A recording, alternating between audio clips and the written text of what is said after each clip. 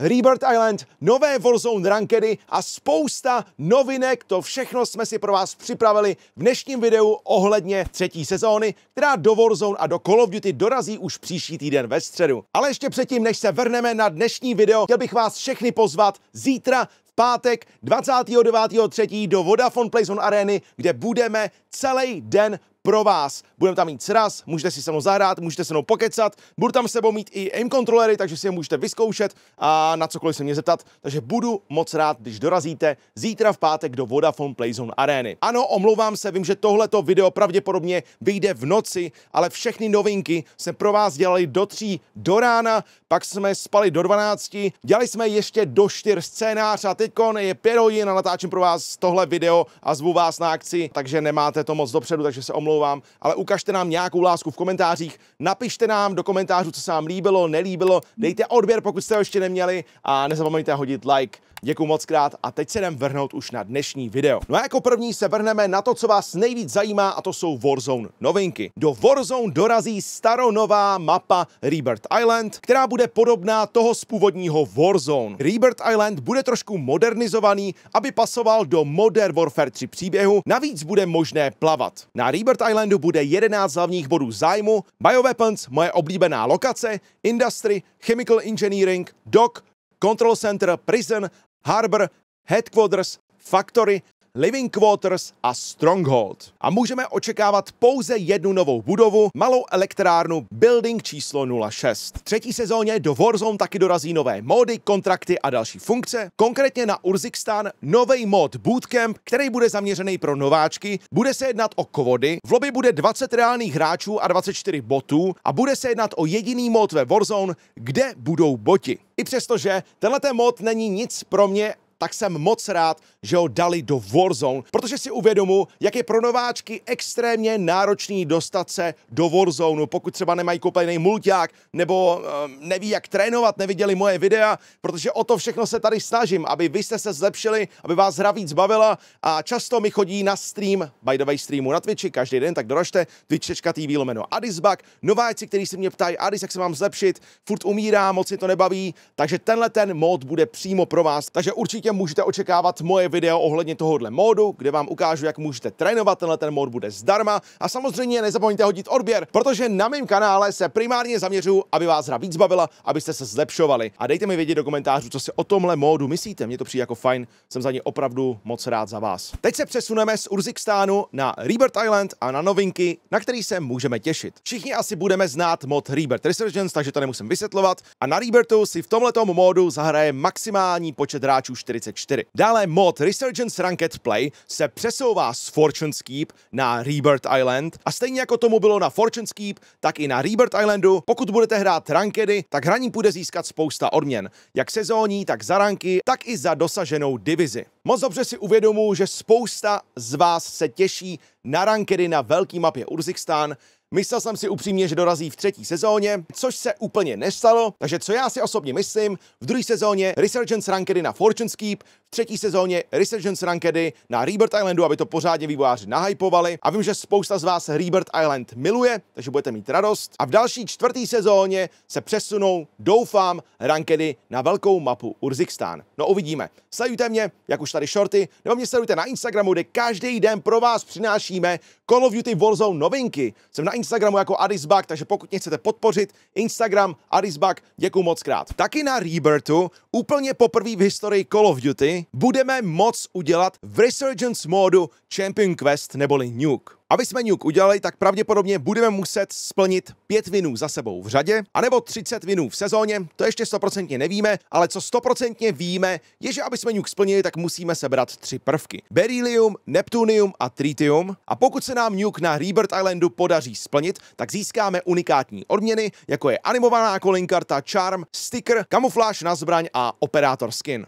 Taky na Rebirth Island dorazí nový kontrakt Spy Drones, ve kterém půjde o ničení označených dronů na mapě a za ty získáme odměny jako jsou pláty, redeploy drony a možná dokonce i Advanced UAV. Taky se můžeme těšit na nový field upgrade Squad Rage, který bude dávat Battle Rage všem z týmu v jeho okruhu. Na náš oblíbený ostrov taky dorazí Biometrics Scanner, což znamená, že na mapě bude 10 biometrických skenerů, které jsou aktivní jen jednou za zápas a když si na něm zkontrolujeme staty, do batohu se nám umístí karta s naší identitou, bude to keykarta a dostaneme za ní XPčka. Na keycardě bude jméno operátora, klanták a rarita od bronzu až po Orion. No a touhletou kartou půjde odemknout speciální nabídka v nákupních stanicích. Čím vyšší raritu kartičky máme v báglu, nemusí být naše, lze vzít i někomu jinému, tím lepší loot se nám odemkne. Dále se můžeme těšit na Smart Display, což bude více než tucet chytrých zobrazovacích panelů, který budou nabízet nejnovější informace, například předpověď počasí, bojující hráči u sebe, operátoři, co získali kartičku z biometrického skeneru, anebo třeba démon hry, který dosáhl 10, 15 nebo dokonce 20 eliminací ve hře. Dále v sezóně přijde public event Infill Strikes, který v některých hrách na Rebirth Islandu zničí jeden ze tří bodů zájmu. Lighthouse, Prison anebo Water Tower. Foresight Killstreak dorazí v sezóně a tenhle ten Killstreak, pokud ho neznáte, tak ukáže, kde se budou nacházet všechny následující zóny. Taky se v sezóně vrátí Specialist per Package,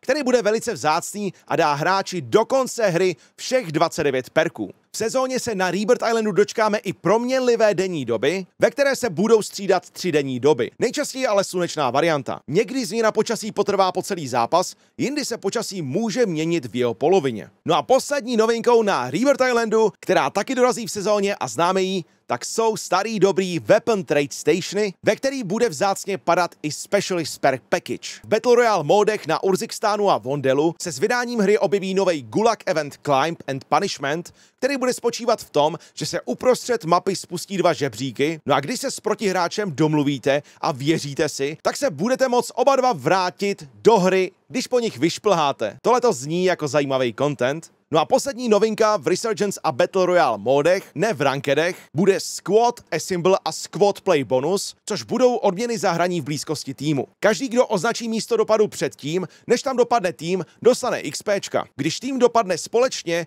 může získat XPčka, peníze nebo třeba supply UAV. Tak tohle byly všechny Season 3 Warzone novinky, no a teď se společně podíváme na Modern Warfare 3 a Zombies novinky. Já vím, že spousta z vás vždycky, když dělám nějaký nový content, tak mi sem tam napíšete, že nedělám skoro vůbec žádný zombie nebo Modern Warfare 3 content. A pravda je taková, že to nedělám, protože vás to nezajímá. Když jsem zkoušel udělat nějaký zombies video nebo video z multiáku, tak jsme na tom strávili dva dny a vidělo to 3000 lidí, což buďme k sobě upřímní, není tolik, takže je vás málo, který zajímá zombíci a multiák, takže úplně to nemůžu dělat. Pokud bych to dělal, tak bych přicházel o fanoušky a nemohl bych tohle dělat full time. Dejte mi schválně vědět vy do komentářů, jaký na to máte názor. Mohl bych třeba udělat, že jednou za měsíc budou YouTube membři rozhodovat, co bude za video a to vydáme. Takže dejte mi schválně vědět, můžeme si nějak domluvit, můžeme to nějak udělat, ale potřebuji vědět váš názor, protože my primárně budeme dělat videa, který vás zajímají, který mají schlídnutí. Pokud to nemá schlídnutí, vidíme, že nějaká série nemá smysl, tak jdem dělat něco jiného, protože by to pro nás byla ztráta času. Sorry za zdržení, jenom jsem to chtěl ujasnit, protože vím, že spousta z vás takhle nepřemýšlí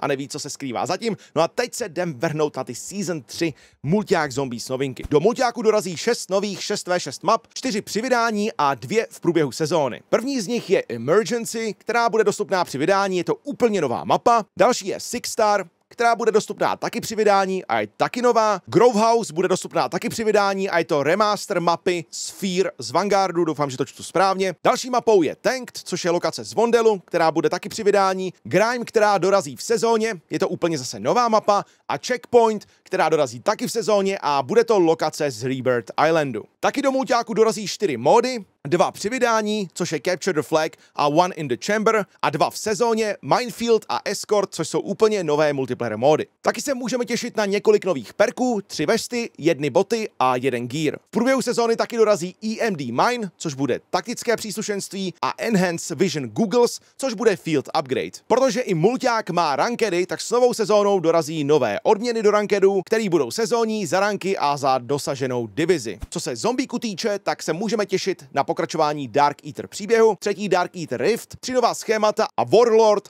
Rainmaker. No a protože vyšly i mobilní Warzony, tak každou sezónu a každý novinky budeme do Patch Notes zahrnovat i mobilní Warzony, protože se vám líbí, máte je rádi a mě osobně baví taky. No a na co se můžeme těšit v třetí sezóně v mobilních Warzonech? Kromě sdíleného progresu přijde nová 6v6 mapa Raz do multiáku, Battle Royale mod Plunder bude dostupný při vydání a buyback bude dostupný v sezóně, taky dorazí UAV Towers na Rebirth Island, protože Rebirth Island už v mobilních Warzonech je. No a taky můžeme v mobilních Warzonech očekávat čtyři nové eventy, The Recruit, The Assassin, To The Metal a Cover Me. Pokud všechny eventy splníme, tak získáme 21 odměn. Vy už jste si určitě mysleli, že končíme, ale tímhle to nekončí, protože s třetí sezónou dorazí i nějaké obecné změny. Pojďme se na ně vrhnout. S třetí sezónou dorazí čtyři nové zbraně. FJX Horus, což bude SMG, které bude dostupné při vydání v Battle Passu sektoru 8, Morse, odstřelovací puška, která taky dorazí při vydání a budete si ji moc odemknout zdarma v Battle Passu v sektoru 4. Třetí zbraní je Gladiator, což bude milíčko, jak napovídá název,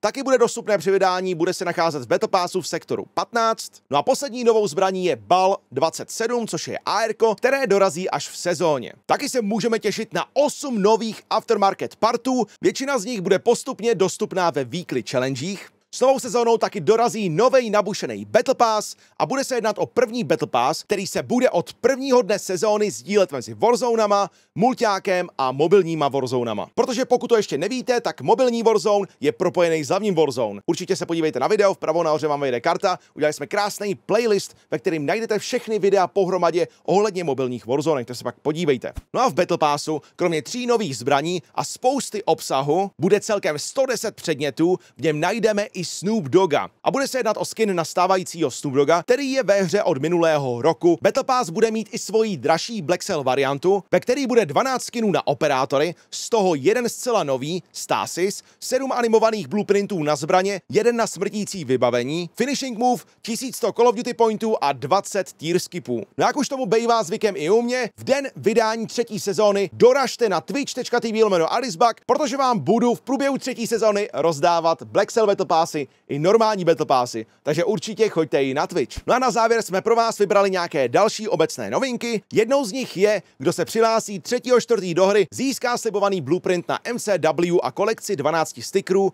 ke čtvrtému výročí Warzone. Další z nich je Tracer Pack, Čích a Chong, doufám, že to čtu správně, v Americe jsou hodně slavní tyhle ty dva borci, jsou to nějaký komici, ale já to slyším poprvé, což bude bundle podle komediálního dua, který bude obsahovat dva operátory, namluvený oběma herci. Do Call of Duty s třetí sezónou dorazí i Godzilla a Kong, což budou tři bundly a pořízením všech tří bundlů navíc získáme Beast Glove Gladiator skin Melee Weapon. Na tohle jsem hodně zvědavý. No a kromě Čícha, Chonga, Godzilla a King Konga můžeme očekávat další bundly, třeba Emperor Pack, Lenochoda, Kodasaurusa, Mozek v nálevu a další.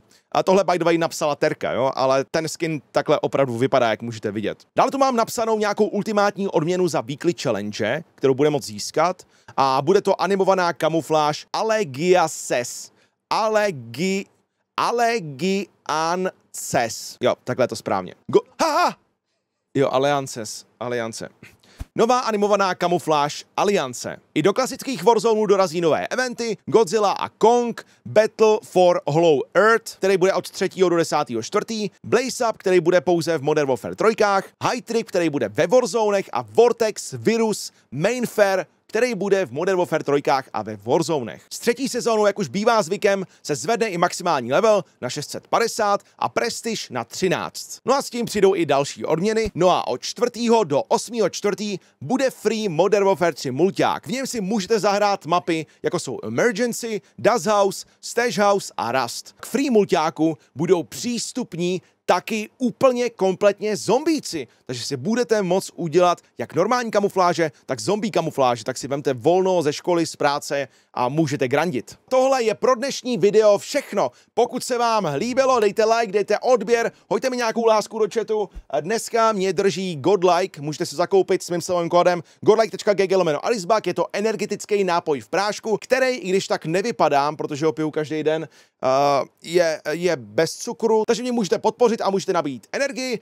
Já si jdu zacvičit, abych neměl tak velký cecky, protože furt si je berete do huby a my se uvidíme u dalšího videa nebo na streamu, pak hned zapínám stream. Mějte se krásně, doražte zítra na sraz. Ahoj. Ahoj.